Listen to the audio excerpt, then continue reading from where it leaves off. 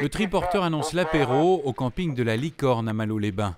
Désormais, le beau temps n'est plus un mythe. Pour ceux qui commencent leurs vacances, le moral est comme le baromètre au beau fixe.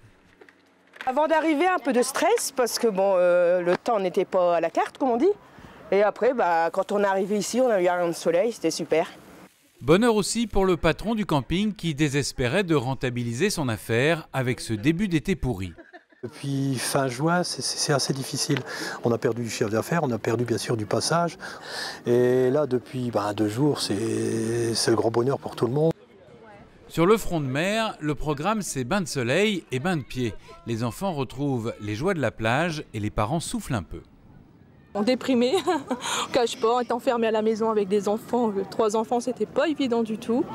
Donc là, franchement, là, euh, le premier jour, on en profite pour venir à la mer parce que c'est que du bonheur et les enfants, ils s'éclatent. Dans la région, le beau temps devrait durer jusque jeudi, il faut en profiter un max.